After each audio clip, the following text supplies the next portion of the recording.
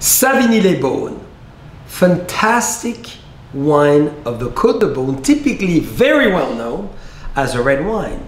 You may wonder why there's a little bit of white in Savigny-les-Beaunes.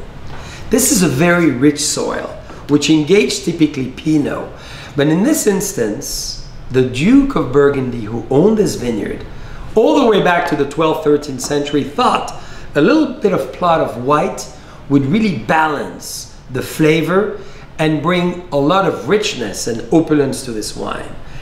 So I'm in love with this wine because it faces, of course, east, sunshine, and all the afternoon, but has a very calcareous, rich soil, which brings to the wine a lot of intensity, a lot of deep golden color, as you can see, therefore a lot of richness. Beautiful vanilla, of course, coming from the barrel, but finally an insane calcareous minerality that comes from that soil. And due to the richness of the soil, the bunches and the skin and the berries are full of great flavors. So it's a very opulent wine.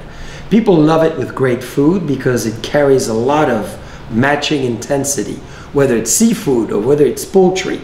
So I really recommend this wine. It was drank as well by the famous Chevalier of Malte.